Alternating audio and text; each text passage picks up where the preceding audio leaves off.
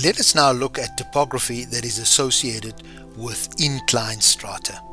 We looked at topography that was associated with horizontal strata and in this one we're going to be look at, looking at inclined strata. So let's look at the homoclinal ridges that we find within the Magaliesberg range. Those homoclinal ridges consist of cap rocks that represent resistant rock and then they have gently dipping slopes and steep scarp slopes. And so those are the features that are associated with a homoclinal ridge. So a homoclinal ridge is a number of hills that have the similar, similar angle and that's why they're called homoclinal. They've got the same angle of dip. Now let's look at this more carefully and we look at what we see within the Magaliesberg range.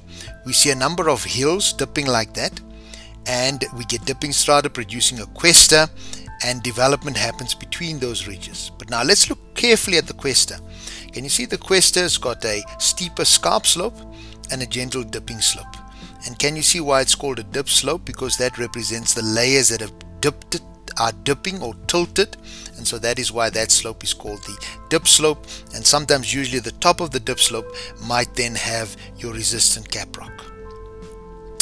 Another feature that is associated with dipping strata would be similar to the cuesta but it has a steeper dipping slope and so that uh, that kind of feature then is called a hogsback so the difference between a cuesta and a hogsback is that a, a cuesta has a gentle dipping slope whereas a hogsback has a steeper slope.